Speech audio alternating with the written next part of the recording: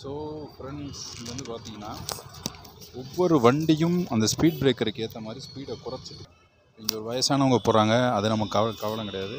But ஆனால் அங்கே பக்கத்தில் வந்துட்டு ஒரு வண்டி வந்து எப்படி ஸ்பீடை குறைச்சி ஏறுது இதோட ஷாக் அப்சர்வர் ரேட் என்ன இதோட டேம்பர் ஸ்பீடு என்ன அதை தான் நம்ம பார்க்க போகிறோம் ஸோ ஜென்ரலாக வந்து இப்படி போகும்போது இந்த மாதிரி ஒரு டேம்பர் ஸ்பீடோட போகுது. சாரி இந்த டேம்பர் வந்து ஆக்சுவலி அந்த ஷாக் அப்சர்வ் பண்ணும். ஓகேவா ஷாக் அப்சர்வ் பண்ணும்.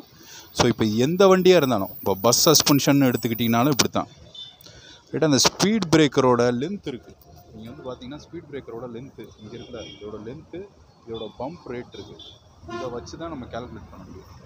புரியுதுங்களா? இப்போ ஒவ்வொரு வண்டியாக போகுது பாருங்க.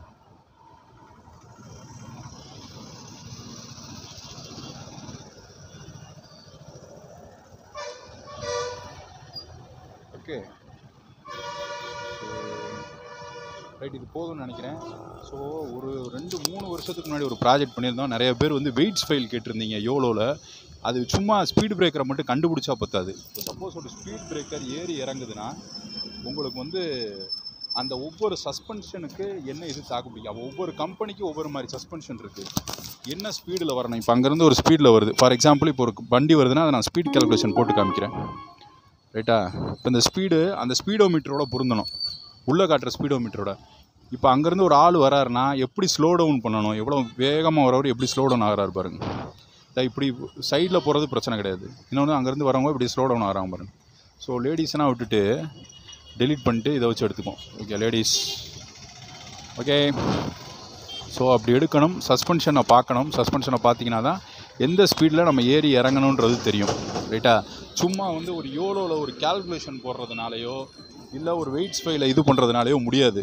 ஸோ இதில் தான் மெக்கானிக்கல் இன்ஜினியர்ஸோட முக்கியமான ஒரு பார்ட் இருக்குது நீங்கள் டேம்பரை ஒழுங்காக கால்குலேட் பண்ணலன்னா நீங்கள் எவ்வளோ டிஸ்டன்ஸ் இப்போ இவன் எவ்வளோ தூரத்துக்கு முன்னாடி இருந்து ஸ்லோ டவுன் பண்ணாலும் வேஸ்ட்டு சரியா?